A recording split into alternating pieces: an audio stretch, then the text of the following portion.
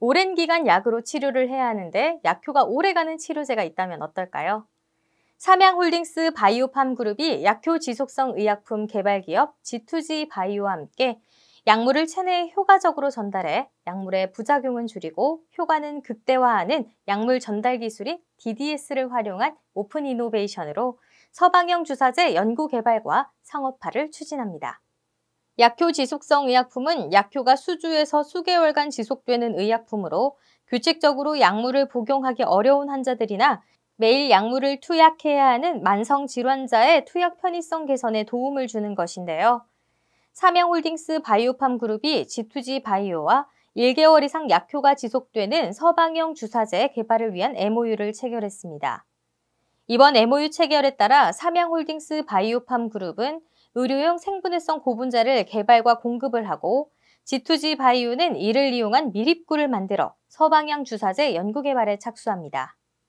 미립구는 약 10에서 100 마이크로미터의 구형 입자인데요.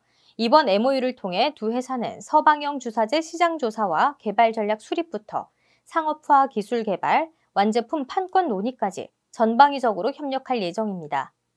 미립구를 활용한 약효 지속성 의약품은 생분해성 고분자로 약물을 감싸 체내에서 서서히 약물이 방출되면서 일정한 농도를 유지하도록 제어하는 기술에 바탕을 두고 있는데요. 이 기술의 핵심은 생분해성 고분자 물질입니다. 생분해성 고분자 물질의 종류와 조성물에 따라 미립구의 분해 및 약물 방출 속도가 달라지기 때문이고요. 미립구 기반 DDS 기술을 이용한 서방제 주사제 개발의 또 다른 핵심 기술은 균일한 크기의 미립구 생산입니다. 미립구 크기의 균일함 정도에 따라 분해 속도와 약물 방출량이 달라질 수 있기 때문인데요. 균일한 크기의 미립구 생산은 연구 단계에서는 어느 정도 구현이 가능하지만 대량 생산 시 품질 보증이 어렵습니다. 이런 이유들로 인해 전 세계적으로 약효 지속성 미립구의 상업 생산이 가능한 기업은 약 10곳에 불과하고 후발업체의 진입도 어렵습니다.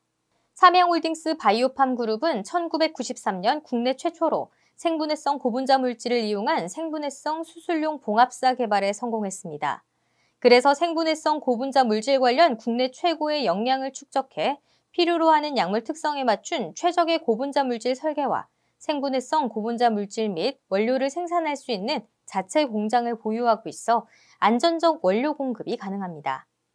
G2G 바이오는 이노램프라는 미립구 제조 기술을 자체 개발해 균일한 크기의 미립구를 생산할 수 있는 특허 기술을 보유하고 있고 무균 시설을 갖춘 임상용 제품 생산 GMP 공장이 있습니다. 그리고 10배 이상 규모의 생산 설비를 준비 중입니다. G2G 바이오는 관련 기술을 기반으로 한 달 동안 약효가 지속되는 치매 치료제, 당뇨병 치료제, 일주일간 약효가 지속되는 수술 후 통증 치료제 등의 연구 개발에 주력하고 있습니다. 삼양홀딩스 바이오팜 그룹은 다양한 종류의 생분해성 고분자 물질 포트폴리오와 고분자 합성 기술을 비롯해 자체 생산 공장을 보유하고 있어 약물 특성에 맞춘 물질 공급이 가능하다면서 단순한 물질 공급을 넘어 양사의 기술과 인프라를 결합한 약효 지속성 의약품을 개발해 환자의 약물 투약 편의성 제고를 위해 노력하겠다고 밝혔습니다. G2G 바이오는 약효 지속성 의약품은 생분해성 고분자의 역할이 중요한 만큼 이번 협약을 통해 제품 경쟁력을 높이고 해외 시장 진출도 더욱 용이하게 될 것으로 기대한다고 말했습니다.